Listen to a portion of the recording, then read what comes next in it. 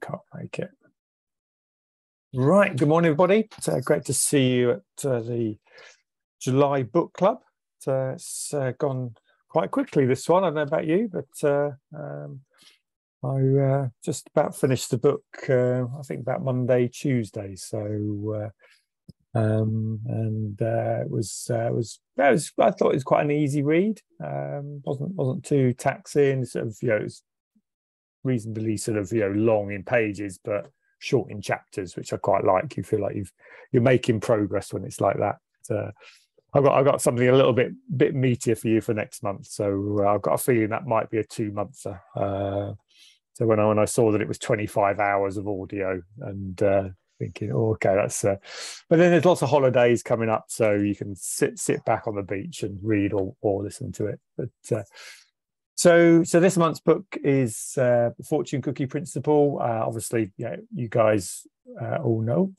Uh, yep, you guys all know about uh, the purpose of book club. But if you are watching this on uh, on the recordings, please, you know, do come and join the conversations. It's great to hear what we have to say about it, but we want you guys to to come in and uh, participate as well. So it's always last Friday of the month, uh, eight till nine thirty. So uh, shouldn't affect your week too much. And um, you know, yeah, it's be good to have you know, come come and join us for these. So, uh, but the book of the month, uh, Fortune Cookie Principle. Uh, this one's been sitting on my uh, shelf for for some time. it was one that I'd been recommended but never got round to reading. So I thought, right, good good time to dust it off as I moved my bookcase from the office back to home. And um, yeah, I, I, think you know what stood out for me. Uh, Seth, if Seth Godin recommends it, then it's probably going to be a good book. So uh, uh, very much, I think, in line with the, the one that came to mind for me was the um, They Ask You Answer and a few and Story Brand. It was very much in the vein of those books, but uh, looking at it from a slightly different perspective. So the author is um, oh Bernadette G- Jiwa. Uh, so uh, Bernadette, uh, and you know she's written I think six books. Uh, she's she's written o- over the years, sort of you know which look quite interesting. So you know certainly if you liked her style, to explore some of her other books, and you know um, she was a, a strange that she was a blogging up to 2020 so i wonder why she stopped blogging so uh, i thought that was a, a, big thing. Having, having been, I'm on a podcast tour at the moment, so I'm going around uh, the the world. So I was in uh, where was I last, yesterday? Um, Colorado. Colorado. I was uh, in uh, doing a, a, blog post. I was in Minnesota uh, the other week and um, and Newcastle on Tuesday. So uh, it's amazing where where podcasts take you. Uh, but it's a yeah, it's definitely a big thing. There's you know the full time podcasters now and uh, they seem to get paid by advertising revenues. So the more people watch their shows, they get the adverts. So uh, yeah, interesting why she stopped that. So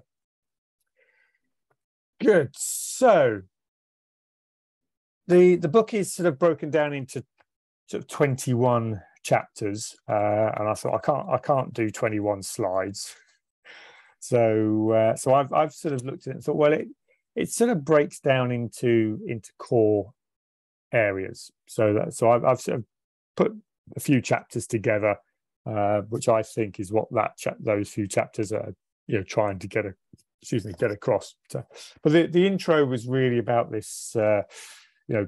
Uh, building a brand versus sort of selling a store selling a commodity you know that uh, this is very much your know, marketing for her is not about you know just sort of selling a product from the advert you know it's building that relationship with people so that they can you know learn more about you and then they come and knock at your door and then they want to buy.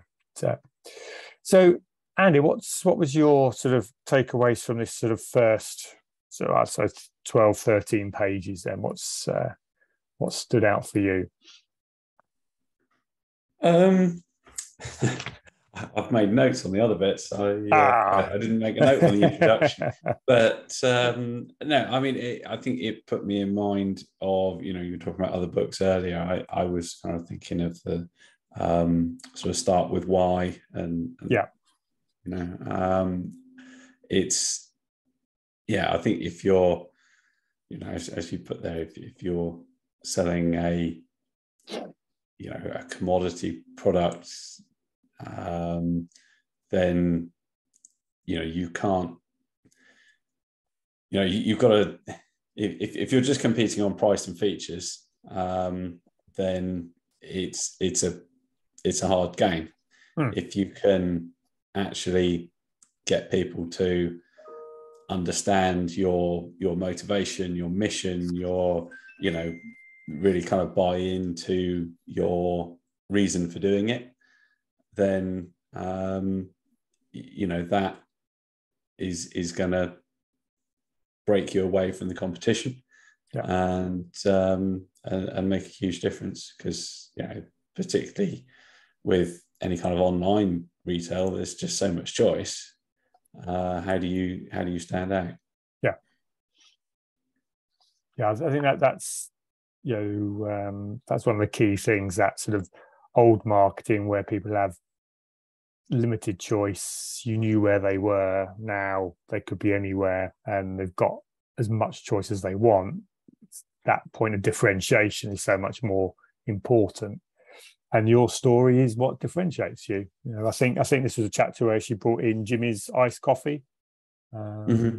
So um, you know, so it was that sort of you know story of going round and not being able to get a decent iced coffee anywhere, and uh, so he sort of you know created it. We sell happiness in a carton, um, and you you know you, we are starting to see that more and more now with with brands. You know we're, we're getting affinity with those because we we buy the story. You know the Ben and Jerry's ice cream. You know innocent smoothies.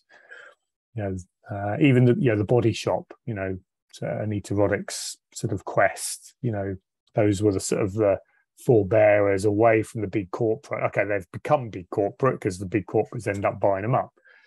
But hopefully the brand still stands for something going forwards. So, Gary, anything else that stood out for you from the from those uh, that introduction part? Yeah, I think it's very similar. Like you say, it's it's going to be a hard game if if you're if you're just going to sell against price against everybody else, sort of thing if you can, you know, find what is the story for your company, um, no matter what size you are, um, and yeah. then try and you know put that in your in your marketing, your advertising, and you, you, you know how you sell, then it's you know people can uh, uh, catch on with that. Yeah, like you say, it can, it can differentiate you. So it's um, yeah, tell tell your story as, as, as well, sort of thing. It's it's, it's a nice idea. Yeah. Uh, so that you know, I think the uh, well, the start he, he sort of, as that little 1997 young CEO was launching a new product.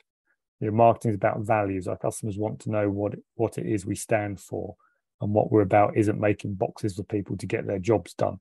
Although we do that well, we're about something more than that. We believe that people with passion can change the world for for better. You know, and that was Steve Jobs and Apple. Um, so you know, it's it's it's that belief within your story, uh, and I think I, have always I think it is difficult for the small business. You know that you know when you start a business, you're you're trying to make a living. You know, you're trying to you're doing it because you, you've lost your job or you know you, you've got to put food on the table um, and therefore you know all you're trying to do is sell boxes you know or do deliver the service and then sort of bit later on down the line, you're then asked to say, well, what's your why? And it's, uh, I found that, you know, a little bit difficult with myself, you know, because I, I sort of got into this without, I, I did have it, but I, it wasn't the reason I got into it, if you see what I mean. You know, I did it because I wanted to do it for me, you know, because I like doing it. And then it's, well, it's not about me, it's about everyone else. So, so you sort of almost got to go back and then reinvent it. So, cool. So then we sort of move into the the meat of the book. So yeah, these twenty one or these twenty um, keys, and then she adds a nice little one at the end. Um, so I looked at this and thought, well, if we break this, if we break it down, the first four are really about the why. You know, sort of, you know, what is the, the truth, the purpose, the vision and values. And and this, you know, the first time I came across this with Jim Collins, Good to Great. I think you know, a few of you have, have read that. So this whole sort of premise that great companies have real clarity around what their purpose is, what their vision for the future is, and and their values. So, so Bruce, what was uh, what were your standout points from the first four chapters here on vision, values, and um, purpose? I think on the the values, um, I sort of resonated with the the bit that was talking about the the hotel and how um, you know the the values yeah, really the staff um, yeah really understood the, the values and lived by them, and mm. they were able to work quite autonomously uh, in terms of yeah the, the way yeah the the customer service that they, they gave in yeah many situations was really yeah exceptional. Yeah, but they were empowered to do it. Yeah, um, um, yeah, they, they didn't need to ask permission. Yeah, that they knew what the, the values are of the organisation, and you know, they um, yeah in certain situations you know provided a service which yeah was just exceptional and yeah I, I think yeah that for me I think that that's just great it's such a great a great business and um, yeah it's obviously yeah for that hotel yeah it's yeah they'll be scoring very highly for their clientele yeah. um, but yeah that, I think out of those three that that was the thing that stood out for me um, well, thing I can remember. um, but yeah, I think that's. Uh, well, I sort of also look at IT Dev and you know where we are, and I think yeah we've worked very hard on values um, over the years. Um, yeah, it's it's something that I think you have to keep working at it, and you have to um, um, yeah, the, obviously the team changes. You get new starters. You yeah. have to keep sending the message mm. out. You have to keep um, yeah, and I think yeah, we're, we're, perhaps seeing some examples now where perhaps we're looking at things thinking, actually, are we living the values there? Yeah, yeah. we're not really doing what we want to be doing, and uh, yeah, and it's a lot of it is management. Yeah, we're not communicating properly, or we're not. Yeah, where where we're not living the values, we need to get on top of it and um, yeah, take the opportunity to um, yeah remind people of what we're all about and how we do things. And uh, yeah, with that messaging, um, yeah, uh, hopefully individuals can autonomously be doing this, and uh, yeah, you can yeah have a, a, great service that sets you apart from yeah your competitors or yeah, yeah similar companies. Um, yeah. No, I, I think that's yeah that that is the key to it. That yeah, once you've set them, you you have to keep working at it um, you know, I've done that a number of times with, with clients, and we set the values and we share them, and then they sort of get forgotten about, and then the, the team start going off piste, and it's it's it's using those values to come back to and say, look, yeah, how was that behavior in line with our values? You know, and when somebody does something that is good in line with the values, then reward them. You know, say, well done, that's brilliant. That's that's the sort of behavior that I want to see. So you have to work really hard at it. It's, you know, think Brian Tracy's book, Managing by Values, says if you know all you have to do is manage the values, that the values manage the company. So you just make sure people are aware of them and live in them, and uh, and then everything moves in that direction. Yeah, they'll, they'll get it wrong occasionally, but that's when you come in as referee and blow your whistle and you know help the people to see that ah yeah okay yeah if I if I had done that then you know it, there would have been a different outcome so cool Andy anything else that stood out for you for those uh, four chapters um yeah I mean I I thought the the format was was really good um, in the sense of kind of introducing the, the topics and talking around them a bit, giving a lot of examples, and then some questions. Yeah. So it's, it's very kind of practical. So um, I did try to answer uh, a lot of the questions. Yeah. Um, so you know we were just talking about sort of the value stuff and Bruce gave the example of the the hotel and I kind of I jotted down oh you know maybe we should um, you know give teams a, a, a kind of budget eh, for if they spot any little opportunities to you know get go beyond for for the client the client mm-hmm. says oh you know I'm, i don't know oh our multimeter's broken all right yep. we sent you a new one. Whatever. Yeah. it's a bad example. Yeah. so, you know um uh what what else? Um yeah the, the kind of the the what business are you in? Um that that was definitely you know 100% aligned with the kind of um, start with why. Um, yeah.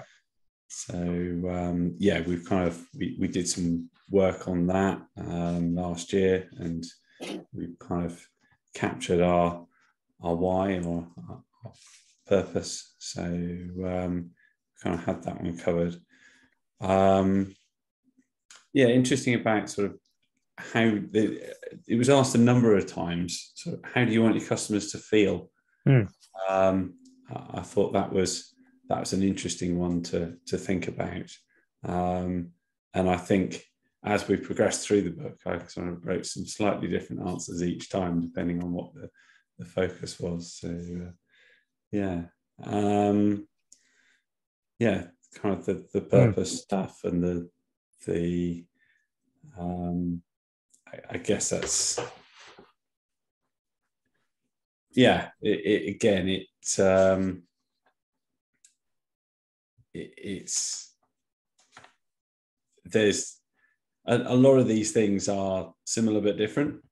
Yeah, you find yourself kind of writing the same answers, but in a just with a slightly different angle on them, uh, which which can be quite insightful. Um, what else do we have? Um, yeah, stuff about connecting with customers.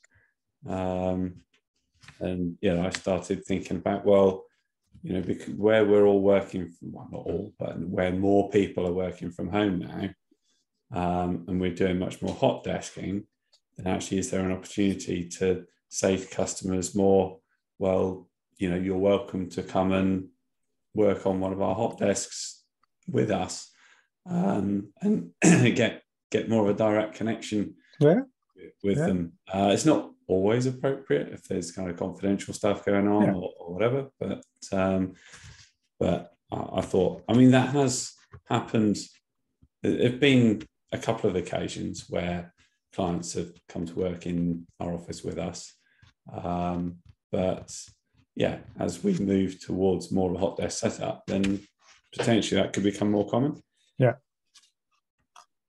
Um, yeah, there was there's a lot of stuff around communications with clients, and so I was thinking about well, at the moment we do um, for active projects, we will send an email out each week that tells customers how their project's progressing and you know um, where, where our time is being spent, which activities we're working on, things like that. Um, so you know, I started thinking about is is there is there more that we could put in those emails that's that's a bit of extra value add and then actually is there is there then an opportunity to continue sending those emails once the project's finished hmm. so you know rather than getting this status getting an email says this is status of your project it becomes we haven't got any projects running for us at the moment but you know here's some interesting blog articles that we've found this week. Um, by the way, have you, uh, you know, have you heard about this or, or whatever it is? Um, uh, just trying to keep communication going, put a bit of extra value in there. Um, it's quite challenging to do because um, with a breadth of clients, they're all hmm. interested mm. in things. Yeah. Um, but yeah, it was something else. Yeah. So, yeah, I think yeah, and I, I'd say I, you're right. I, I like the style of, you know, this is what we're talking about. Here's some examples from companies, and I thought the uh, the Lego Group one was really good. Mm. That uh, you know, in 2000? You know, um, sort of Lego lost its way, and then uh, Jürgen Vig Knudstrop Storp uh, came in 2005 and you know he, he got back to the purpose of lego you know the, mm. You know why we're here what we're trying to achieve. And uh, you know got that through the through the whole organization. And um, and within a few years you know turned it to a, an extremely profitable business. So you know profits yeah are a result of getting you know that vision values and purpose right. Mm-hmm. you know they they will come when you do that. If you're just focused on profits then you lose sight of everything you might gain them short term but long term you, you know you risk losing it so cool gary any any last thoughts on those four chapters before we move on no, no, I think Andy covered it quite well. Okay, um, it's it's nice that these companies have values, but it's it's hard work to to, to keep those values in place. Um, when there's four of you, it can be quite easy. Yeah. Uh, when when when there's 500, it, you, you, know it's, it's a little bit different sort sort of thing. But um, no, I like I like Andy's thoughts of like I say what he's taken out of it and trying to provide value. You know, not just now while he's working on the projects, but you know while he's working, yeah. you know, keep in touch with those uh, those guys, and hopefully they'll come back because you know you have in the past provide that value and continue to provide mm. you know information for you. So no, I think it's a good good idea. No, I think I think I think it is. You know, yeah, you, it can seem to be harder for larger numbers. But on the flip side, larger numbers means if you've got the majority of people bought in, they do the work. So they're the ones hmm. that are living the values. You know, it's it's like a, you know, um, a football team. You know, when a, a you know a, a crowd at a football stadium starts chanting, everyone starts chanting. You know, yeah. there's that sort of ripple effect through. So what what can happen if you get it right in a in a big organization? As long as there's communication, I think that's the point that you know, Andy sort of said that if you've got disparate people all over the place, then yes, it's going to be harder. And that, therefore, the message, the communication needs to be stronger. You know, so, and that's where you, if you're doing just remote teams or hybrid teams, you, you've got to sort of look at how you, you how you manage to achieve that. So, so the next sort of three chapters then was sort of really, yeah, for me was going into the what. So, what is it that we actually do? Or it should be products and services, not product seven services. So, so Gary, what was what was your takes from these three chapters: products, people, and value?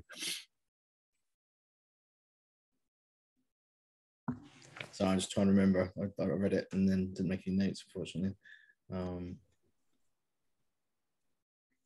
I think like the idea of the whole the the the the, the fortune cookie principle is like you say, you know, fortune cookies are always the same and like yeah. we touched on earlier was you know people don't buy it for the cookies they buy it for you know the, the, the surprise at the end the magic of it sort of thing. Yeah. you know, if you're going to differentiate between yourselves you know in, in your industries or whatever yeah all the products are the same but you know what can you change to, to, to make it you know special for you for your customers? It might not be any, any any major changes but like i think andy said you know you know if your customer feels it, it's different, it's it's special because of what you said, then like you say, you're you're on your way to to making life a lot easier for yourselves. Yeah, I think that that's that is the key. It's you know how does it make them feel? It's always if you can come back to a feeling, an emotion, then you've got a sustainable business, you've got longevity, you've got client retention. You know, if it is just a commodity, I come, I buy, I go, there's no feeling, then you're going to have a transient customer. Um, so that's you know yeah that's definitely a key one. And one of the quotes was Seth Godin's quote: "You don't find customers for your products; you find products for your customers." Mm. So it's that then adaptability to say, well, I've got that customer now. My job is to keep them and you know keep engaging with them. What else do you want? What else do you want? So, any other points, Gary, there from the people side of things? Because we were sort of touching that a minute ago.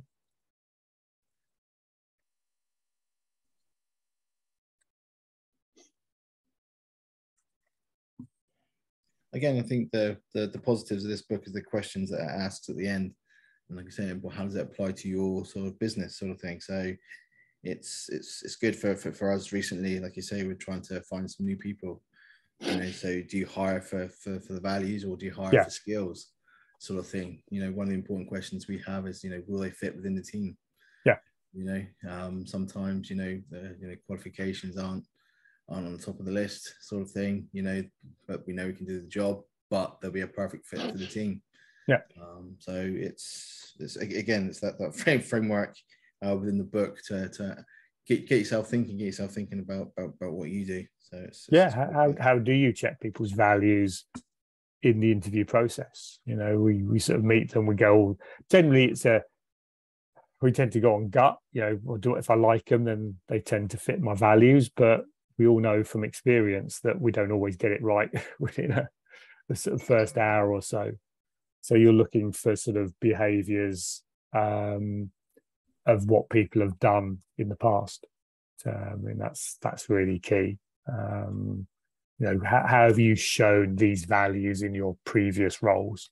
You know in your home life you know in, in what you do outside of work because that's you, you you know you can pretend in work that you're a certain type of person. You know you can sort of ex- extrapolate you know what you've actually done but does that back it up with what you do at home you know what your hobbies are those sorts of things that's a, a really good way to to get in depth on that so um, so Bruce, what's uh, any other points from you from these? Um, well, so just looking at the the value you deliver Hmm. chapter. Um, yeah, I think uh, yeah, a lot of these successful companies, yeah, on on the face of it, you know, it looks like yeah they're just delivering coffee or some roses or whatever it is. Um, but actually, you look into it, yeah, the, the true value it's not the coffee, it's it's it's the you know the other stuff that the customer perceives real value from what they're getting, you know, in terms of that service. So um, I suppose, uh, yeah, the, the coffee example here, they give um, uh, talk about snakes and lattes. Yeah, Um, that, that was a good name, good uh, company name. Yeah, says why you can get great coffee and food at Snakes and Lattes. The value the cafe delivers isn't a full stomach at the end of the evening. It's the connection the customers make over games. Um, so yeah, it's I suppose yeah for us it's yeah we we've got a um, quite a, a- a dry technical service we offer, but what Yeah. what can we offer beyond that that will be yeah is true value to the client Hmm. that actually said yeah that I want to use IT Dev uh, because this extra thing is something that I really appreciate and that something that makes working with IT Dev um, so much better for us. Um, Yeah. So it's uh, perhaps yeah giving more thought to those things. Um, So I think naturally, yeah, as engineers, you you can quite you can focus much more on the technical and and uh, yeah the danger there is you can yeah you can work really really hard to yeah, have a, a technical product that is absolutely you nailed it it's 100% but actually if the customer doesn't see that if if if from their point of view whether it's 95% or 100% if, if there's something else we can deliver uh, that um, yeah really makes a quite a difference to the experience um, so yeah i think the lesson is you know not to neglect those other things and Yeah. in fact give those other things quite some focus because that could be quite a quite a differentiator So, so I mean, it was interesting on the coffee because they talked about Starbucks, didn't they? And Starbucks is Hmm. that you know third space. You know, it's not it's the space between home and work, and it's how you feel within Starbucks. And that has got me to then thinking, well, how come Costa Coffee then have almost sort of taken that? Yeah, because I think Costa Coffee sell more coffee than Starbucks do, certainly in the in the UK. But I don't get from Costa Coffee that the vision, values, and purpose are necessarily as strong as they are in Starbucks. Uh, it's a Whitbread company, you know. And um, any thoughts on that? um, yeah i'm not really a, a coffee expert so uh, uh, i have been i think i've been to starbucks once Right. uh, uh, yeah, probably. Yes. It- does does it come down to you know is your story you know how strong is your story how unique is your story if if your story is we want to give you a space that isn't home and isn't work Hmm. well you know actually arguably whitbread have been doing that for an awful lot longer than uh, starbucks True. Yeah. Yeah. um, so, you know, it's it, it, it, it's it's not just about having a story; it's about having a unique story um, and something that resonates. Uh, and, and I guess that kind of does resonate, but at the same time, it's not that unique. I suppose it was, yeah, because when you do go to Starbucks, you know, they do ask your name, they write your name on the cup, and there are certain people I think that really buy into Starbucks. You know, I, I don't particularly like the coffee. So I've never really sort of thought Starbucks coffee is is wonderful, and um, and a, a bit of the thing there, they seem to have choice as well. You know, what what type of coffee beans do you want? I just want a coffee. You know, so I think was it the McDonald's ad I thought was really good you know, do you want this, that coffee, this coffee, that coffee? And no, I just want one for one pound seventy nine. You know, it's like,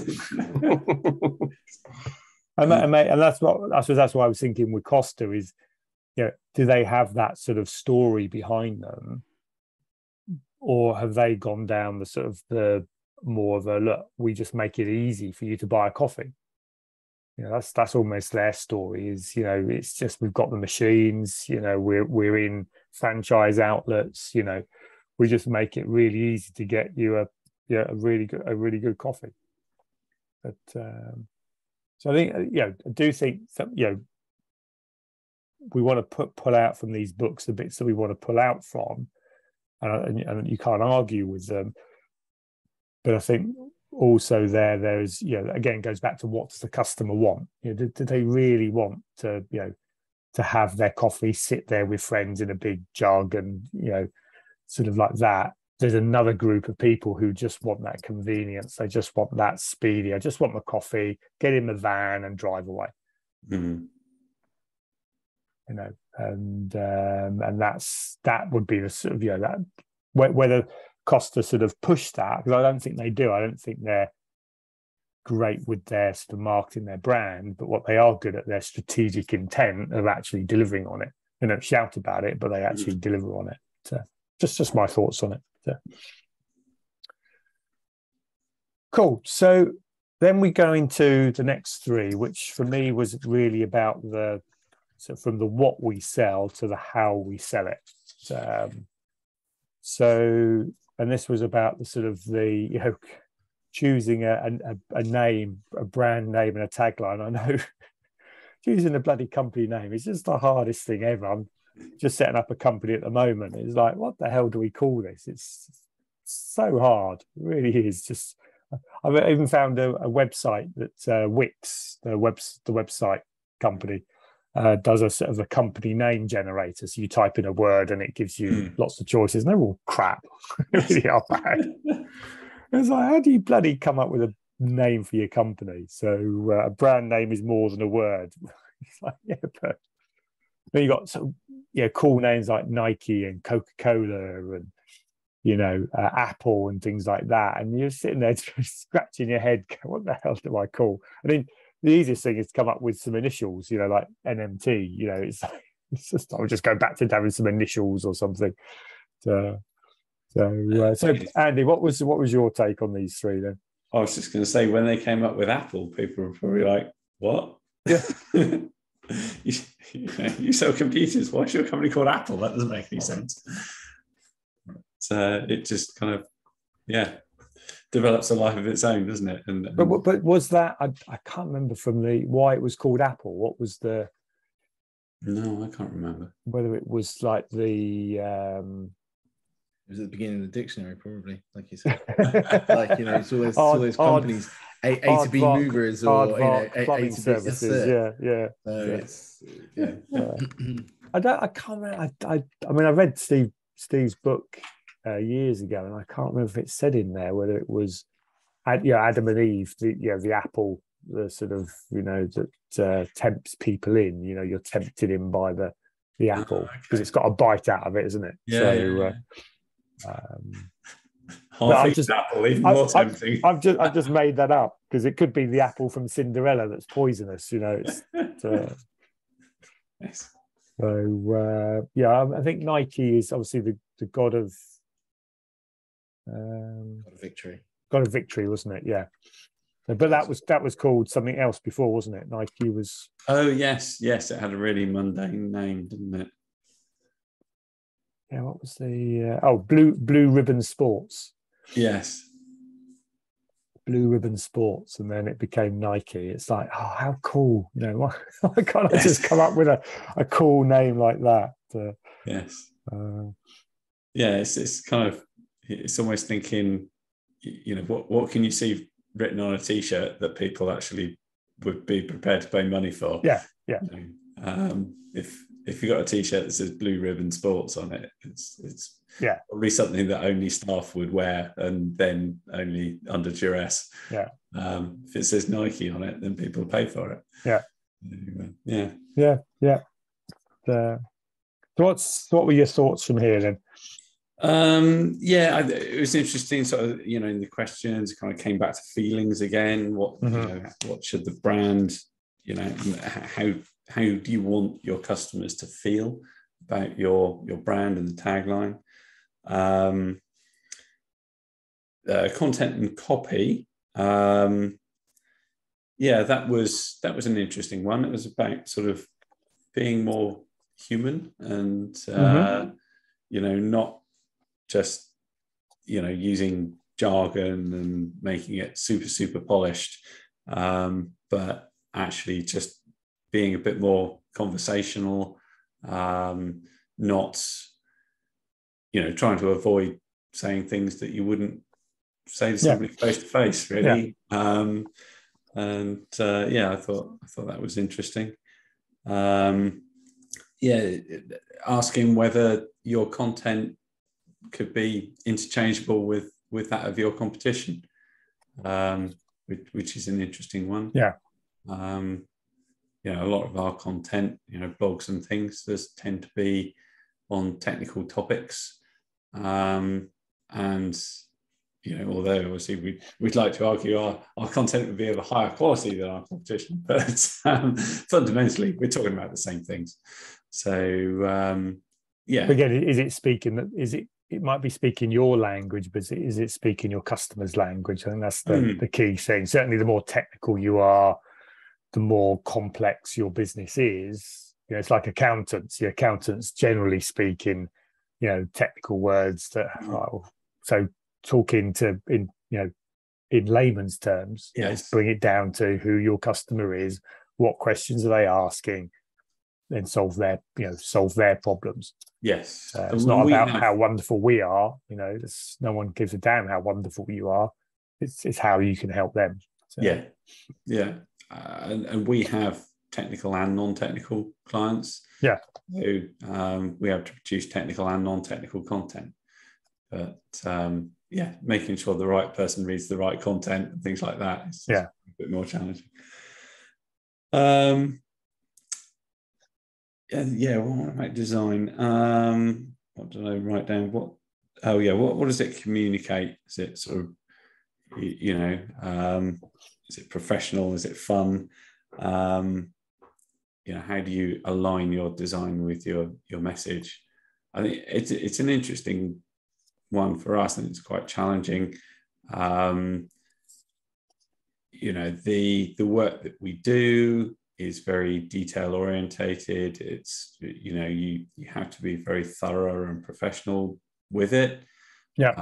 um, but at the same time we want to convey you know uh, the, the human side of, of us as well and, and and our passion for it. Yeah, um so yeah uh, maybe we need to talk to some graphic designers or uh, or something about how how one actually achieves that because they they feel slightly in in opposition you you know in terms of uh, a design theme yes, yeah. It is. I mean, it does make a you know again go back to the Nike swish. You know, it's, it's those little things, the memes. Yeah, if you can create a meme out of you know what your logo is, get that across, and that there is a, an element of design flair that's needed to do that. Um, you know, at um, yeah, I, I remember designing my previous company's logo, you know, and it was like even that was a ball ache. It was I don't know which one people are going to like. Yeah, but it's like it's like I suppose it's like art, isn't it? You go into a, a gallery, you know, some things you like, some things, excuse me, some things you don't like. Yeah. Mm. So, uh, cool. So that was really our sort of how we get the message across. You know, our name, you know, content copy needs to be in their language, not ours and then you know the design the look and the feel you know should um you know again back that up you know the visual should back up the, the story the message and there, there are if you go to good designers they've got color palettes and certain colors mean certain mm. things you know? Blue is a calming you know um supportive color. So you know you'd want that within you know your shipping business you know calm down we'll take care of this. If you were red you know it's almost like a danger warning sign. Um, so yeah. um, you know so you can use colors and logos on a subconscious level as well. So i, I personally i think what we really sell is peace of mind yeah um, so actually the fact that our logo is blue um, is, probably not a bad fit yeah yeah yeah. yeah yeah it's a good it's a good stable color. You know, yeah. ours ours is red and blue, so God knows what that means. just my, I just like the colors. I always like red and blue. So, uh, cool.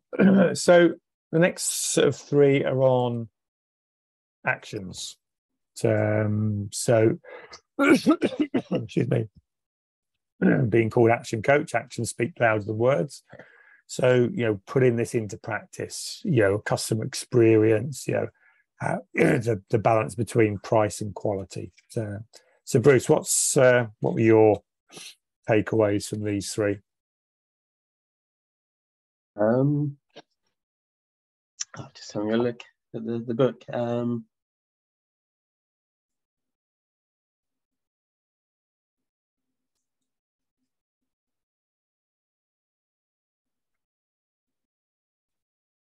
yeah, it's interesting. Just, just looking at the um, the one. So this is the your actions, and mm. uh, uh, there's a, a, section at the back for the questions where it's talking about um, uh, an uh, Apple Store. Yeah, how much training, uh, yeah, the yeah customer support people get, and yeah, really they're, they're getting twice as much training in changing how the customer feels as opposed to um, what they do in terms of solving the technical problems, which is you know, quite interesting. Um, um, so yeah, so that's so it's all about well, the actions. It's the customer experience as well, isn't it? Um, yeah. Yeah. Yeah. Again, yeah, it comes back to IT dev, you know, where yeah, a very technical company, yeah, we we yeah, we we cannot be focused just on the technical you know, we need to be thinking about, you know, the, the customer experience, you know, the other things that, um, uh, you know, make us attractive. Um, so yeah, it's interesting. Yeah, the different chapters as you go through them, they're, they're all sort of touching on similar points, aren't they? Yeah. Um, yeah coming at it from different angles. Um, Yeah, because this, this goes back to again the values. If the values yeah. are there, then your team yeah. will live the values and deliver what, what you set out to do. Um, but it's easy, you know, it's that whole thing, and it's easy to say that you're this type of person, but if your actions mm. don't back that up, yeah, you know, think, and that and that comes back to it is all about the people. Then, you know, it's about the training, it's about the reinforcement of that.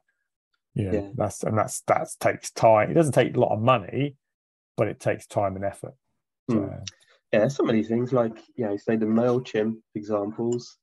Yeah, there, there's an example of um, yeah the email that is sent out when uh, a subscriber has yeah cancelled their subscription, and um, yeah the it doesn't take you know yeah you need to have some content in your email and yeah uh, Mailchimp had one that was uh, sort of very very appreciative of yeah of, of their client and I guess yeah trying to leave yeah in a very positive way um, and yeah just by yeah being careful about you know the wording that you use and the messages you want to put out um, yeah, you can really change the experience that your clients get. Uh, yeah. Imagine in that situation, somebody who's uh, cancelled with Mailchimp, having yeah read the message they get, thinking, "Oh, uh, did I really want to cancel?" And then I should, should change your mind. Yeah, something yeah. comes up, it'd be Mailchimp. Yeah, I want to go to Mailchimp. Yeah. That's the company that I want to use, even though the actual, you know, technical service you get from them, it's yeah, it's a very technical thing, and there's probably other alternatives. Um, but yeah, just uh, that um, personal language and uh, appreciative, you know, engaging language, um, yeah, really makes the difference for Mailchimp. Or, yeah.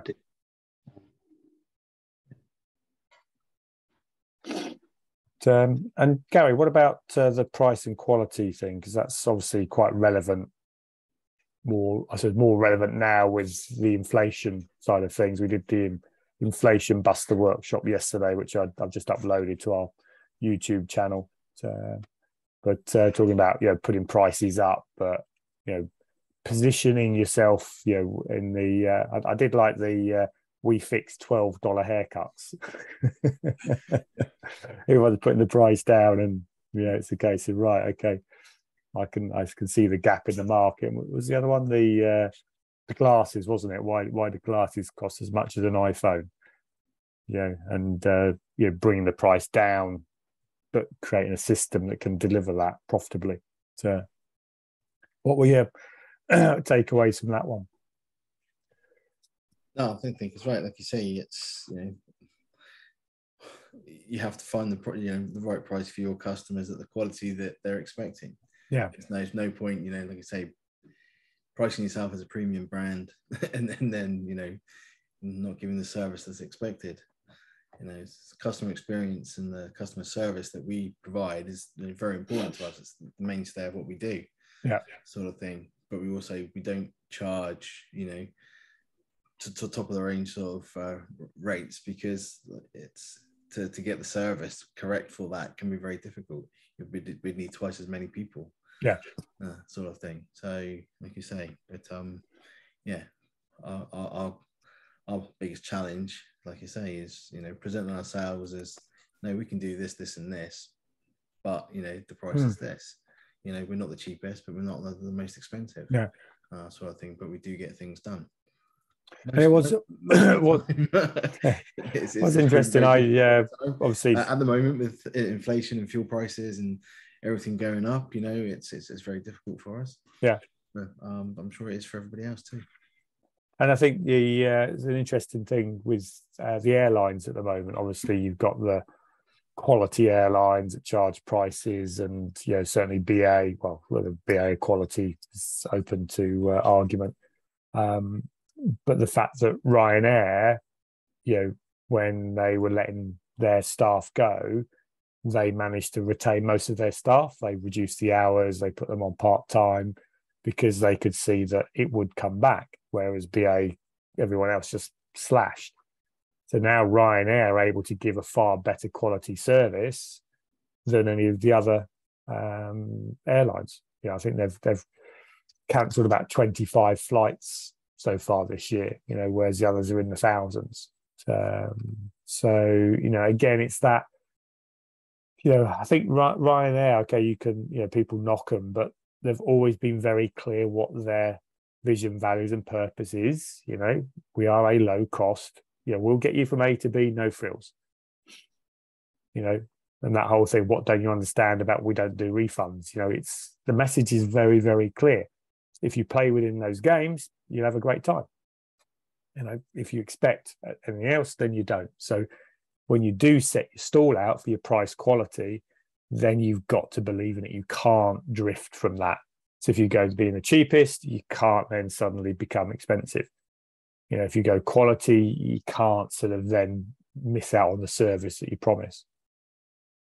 Um, so, so I think that's yeah, that for me was a, a good modern thing of this in actually in action. So, so that was that was sort of you know putting into actions. Actions speak louder than words, and we backing up. We can we can have the vision, values, and purpose, but we've got to back it up with what we actually do. Yes, that's so vitally important, and that takes again time and effort to make sure everybody in our organisation is, you know, is on the same page. You know, and, and more again go back to the hybrid work in more where we're potentially outsourcing work or people are not at, uh, in the office you know are we actually maintaining the standards that we've set ourselves so and that sort of moves us into delivery you know so how do we deliver the the service itself you know so uh, perception distribution and the location so, so andy what's uh, anything um, any yes so um, takeaways from this one? Yeah perception um, yeah, that was sort of how, you know, do, do you want to be an accessible, um, you know, selling a sort of an accessible product, have accessible brand, or do you want to be more aspirational? Um, and uh, you know, which comes back again to the to the pricing. It's all about aligning mm. these things, isn't it? Yeah. They gave the example of uh, Vespa, didn't they? Um, uh, and then sort of the the social, environmental, and other sort of uh, associations. Um, so, um, you know, I think you know you mentioned Body Shop earlier. I think you know they um, sort of strong environmental um, policies, haven't they? Things like that. So, yeah. um, that's you know that that's a perception um, which helps to you know drive drive their marketing in a way or, or you know um, attract customers um, so yeah it's I, I jotted down some sort of questions for myself when i went through it but i i didn't come up with any answers um, I, I think it's yeah i found it a little bit tricky to decide what sort of associations and and uh, and things that would would be a good fit for our business. Um, you know, we are very much about you know being a you know a company that gives back, um, but I don't think we have a a single clear focus for that.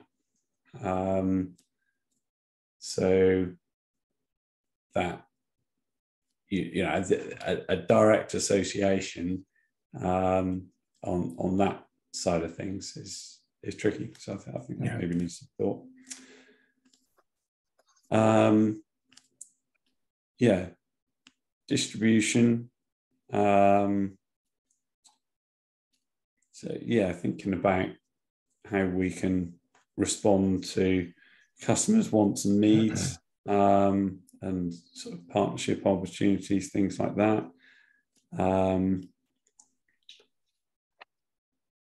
yes, I wondered about you know things like um, you know talking about sort of more flexible payments or something like that. Um, just trying to think through what might be of value to certain, you know, to different types of customers. Um, online ordering, maybe in some situations. Um, yeah, uh, as for location, um, we only have one location at the moment. Uh, I know some of our customers do choose us for our location, and we have in the past said, well, actually, if we had, you know, some satellite offices, then that could open up other opportunities. So that's a a potential sort of longer term consideration. Yeah. Um, in terms of what our location says about us, I think we we do quite well there, being on a science park. Um, you know it's it's a nice office in a nice location surrounded by other technical businesses. Um, so, you know, I think that is well aligned with our positioning. Um, but uh, yeah, yeah. I think I think that you know the location side, you know, I think also that goes onto the website as well, you know, because it's mm. we're we're moving away from bricks and mortar, doesn't matter where you know where you're actually based. It's it's where people find you. How mm. how are they going to find you? So, you know, that location. Are you are you yeah, be the brand people seek out, not the one that they stumble upon, you know. Mm. But I think there is that element is what are they looking for? You know, if they don't know you, you know, you've got to help them find you. And that's that's going to be the key thing. Yeah. So again, I think that comes back to putting, you know, goes back to the they ask you answer the FAQs, the mm. this is the information, I'm here, I'm giving you all this information, and then they'll find you that way. You know, if if you're if your company's silent, if it does nothing, then well, they are going to have to stumble upon you. You know, mm. so um, so I think that is a you know is, is, a key one to to really think about. There is uh, is what they do. Um, Gary, any any other sort of points of view? Obviously, you're you're into distribution, so this one should be perfect for you. Um, you see that seamless link there? Yeah, no, I was, I was, I was the only one I didn't really think of when I read, read the book. Um, it's um, it's, it's, it's, it's quite quite good actually. Is just um, listen to Andy there about location and like you say, for, for us, okay, we're based in Southampton. We've got a, a bog standard office in, in Southampton. But like you say, NMT itself is you know, part of our story is that we are a global shipping company. Yeah. We have offices all, all around the world. We have agents all, all around the world. So it's until Andy said, it's actually, you know, yeah. Part, yeah. part of our part of our perception is that you know we do have global global global cover. Yeah. Um, sort of thing. So it's you know, it's, it's, it's a good point actually. Yeah, yeah, and then I'd say that in a way, in, in this sort of virtual world, that could still be virtual, couldn't it? You know, you could have, you know, websites in, you know, German websites, Spanish websites, Japanese websites.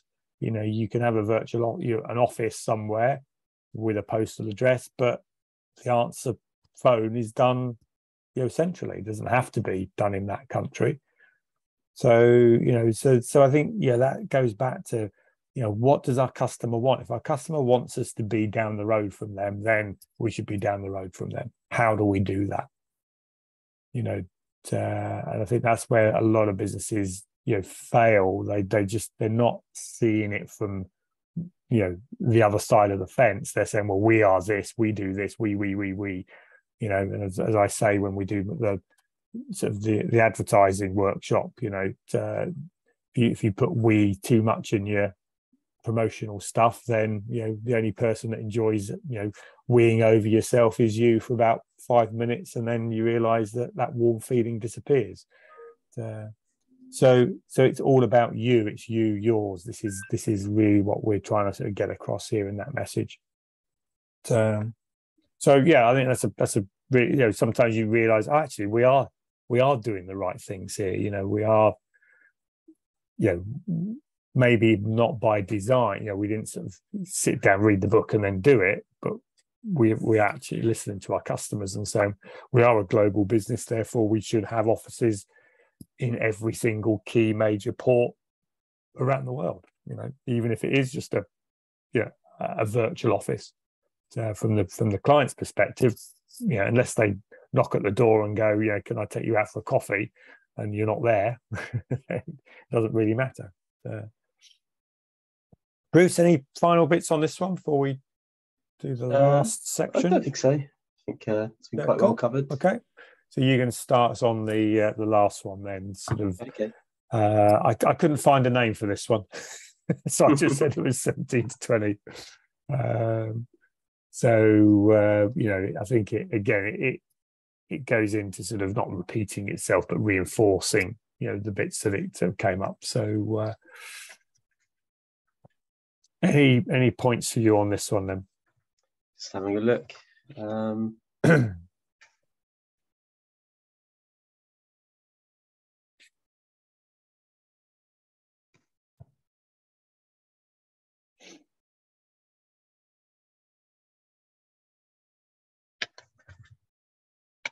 I just while you were doing that, the scarcity one's quite interesting because Mm. there's a there's a new uh, pub restaurant just opened up outside Romsey. The it was the Duke's Head. It's now Duke on the Test, and uh, we've tried to book in there three times now, and it's been fully booked every time we've tried. And it's like you know, th- therefore there's more intense to to actually want to go there. I don't know why it was any Mm. good but uh, so uh, we're actually we're eating there on Saturday. But that scarcity that I can't get in, but I you know that fact I couldn't get in, I want I want it more than than ever. So uh, Hmm, so uh, I've just got to take this call. So you you, you carry on, Bruce. okay.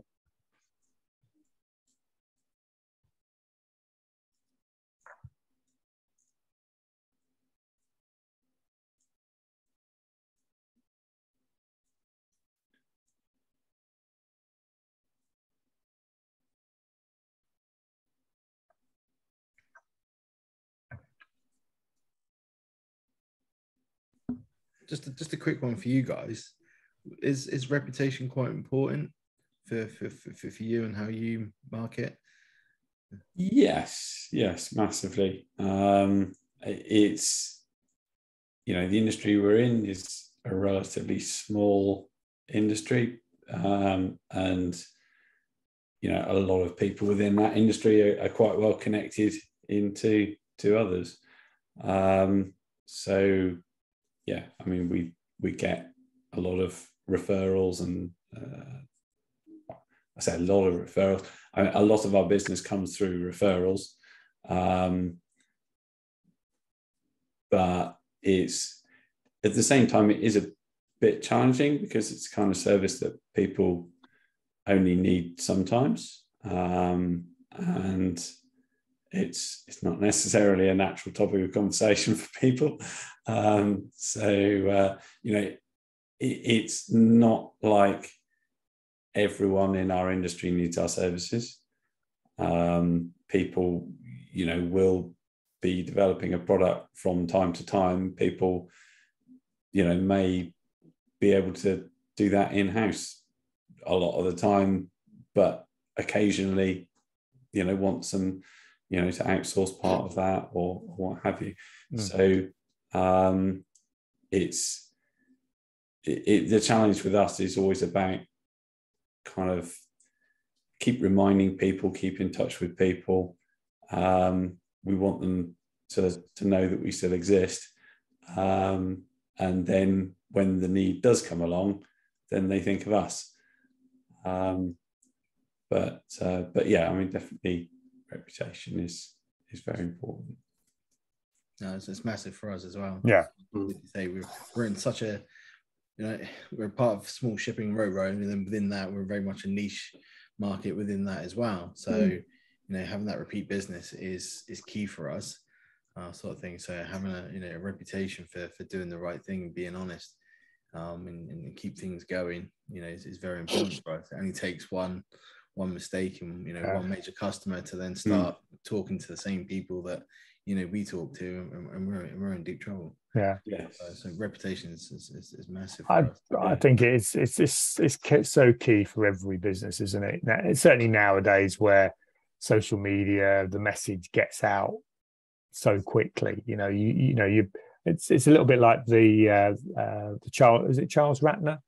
Remember Ratner, the Gerald. jewel, Ger- Gerald Ratner, the um, the jewelers, Yeah. and uh, you know multi-billion pound business you know stood up said our stuff is crap overnight business gone you know Mm. it's that's how quickly it can just go you know uh, and that and that was pretty much that was before social media wasn't it you know Yeah, yeah, yeah. and you sort of see things now with you know what Elon Musk is doing. You know, I don't know whether it's by intent or he's just completely off his trolley, but you know he, he can affect the marketplaces and you know the reputation of, of things very very quickly.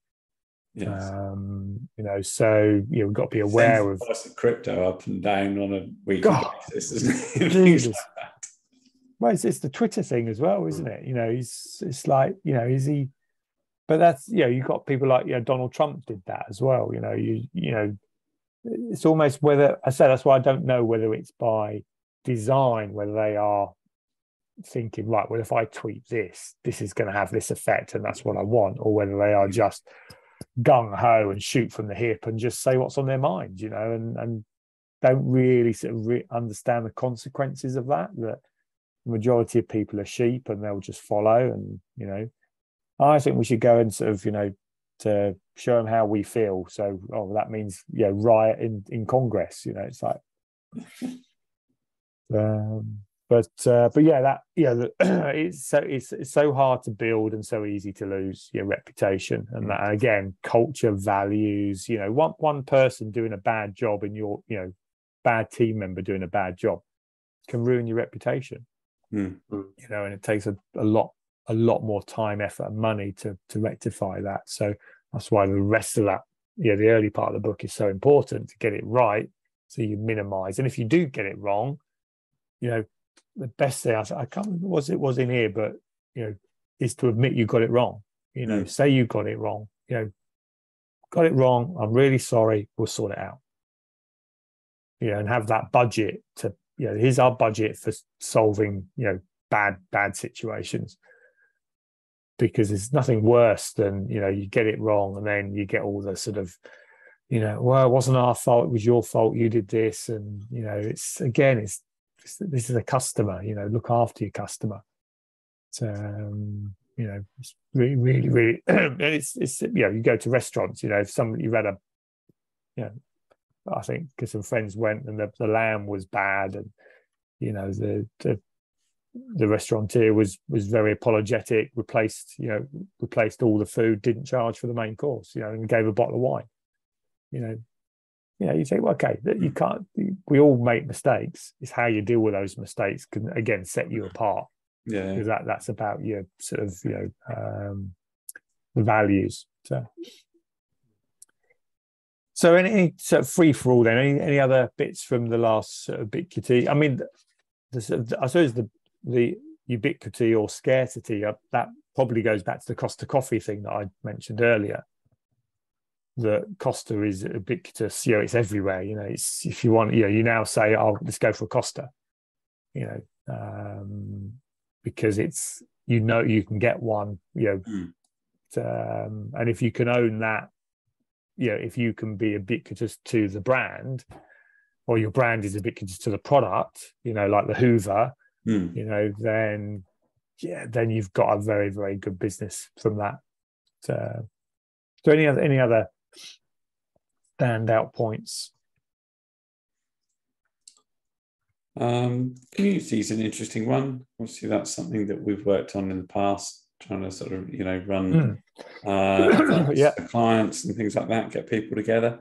Um, so um, yeah, I think that's it's a it's a nice way of connecting with people. Um, it does you know, it, it, leads into the next one really because it helps to foster your reputation.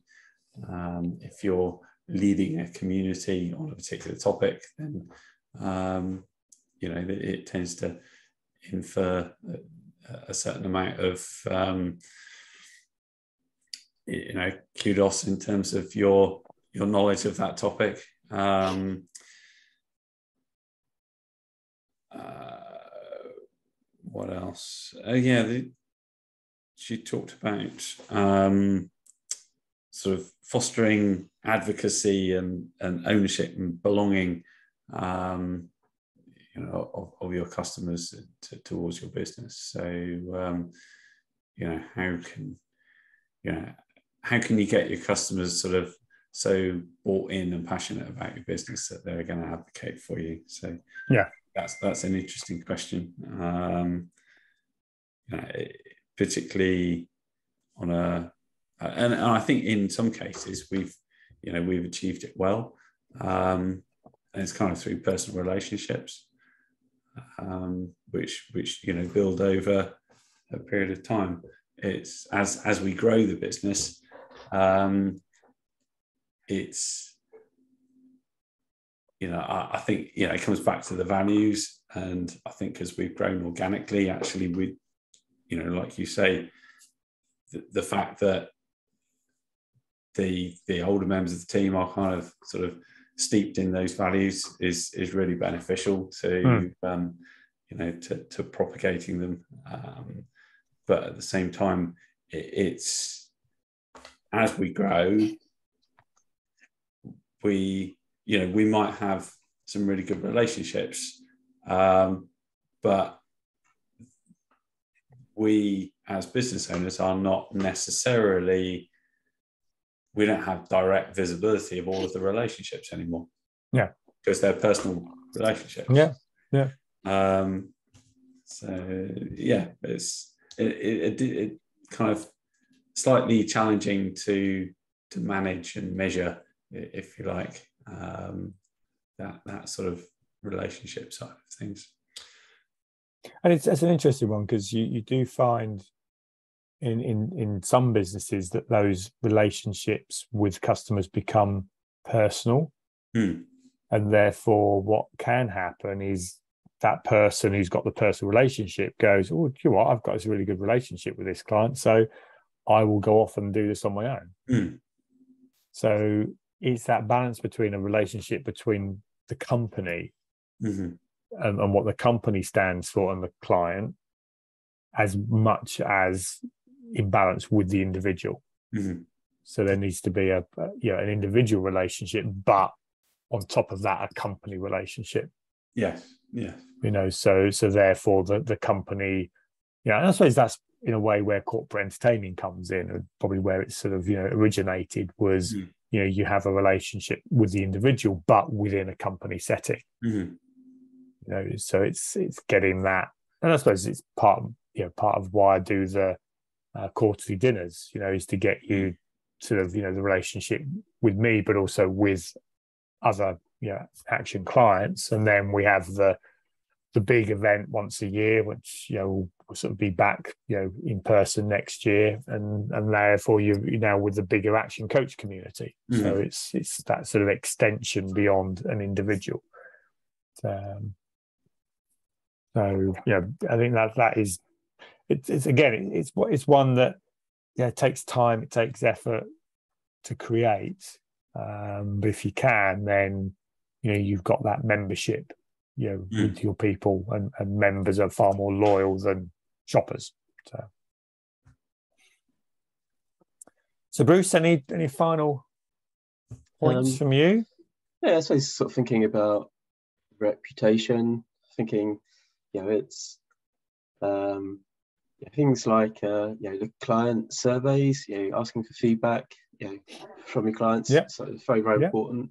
I think actually sometimes um, you know listening to what the clients have to say about us and why they like us can get you almost reevaluating.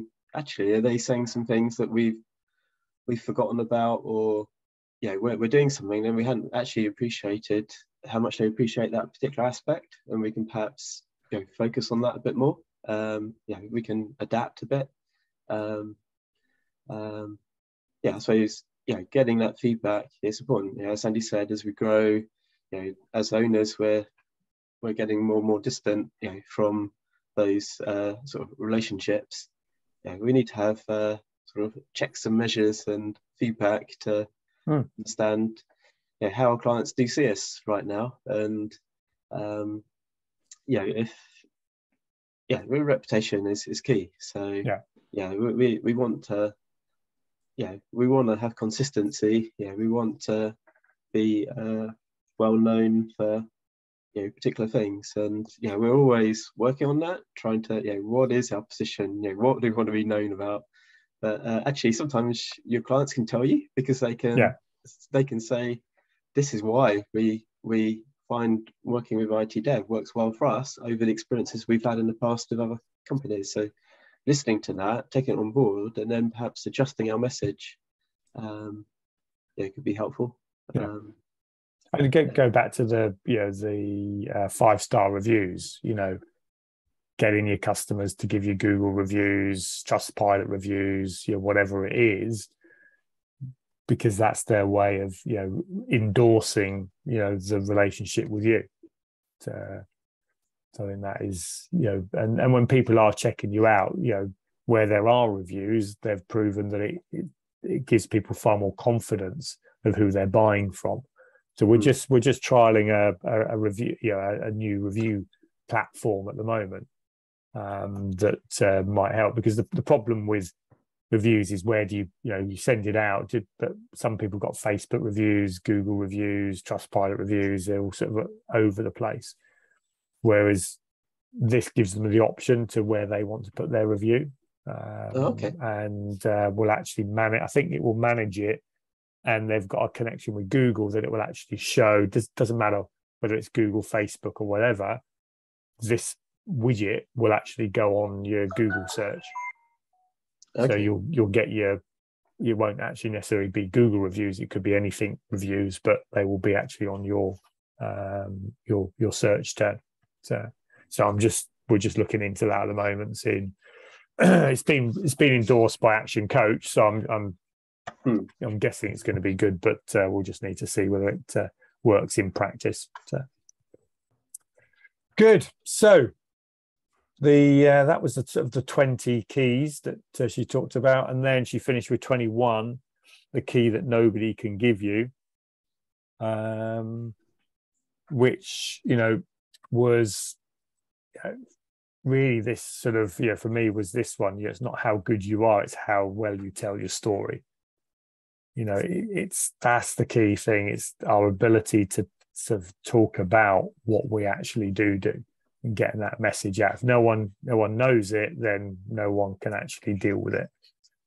Um, so you know how how we tell the story in our actions, in the words, you know that that's what we've got to get out there.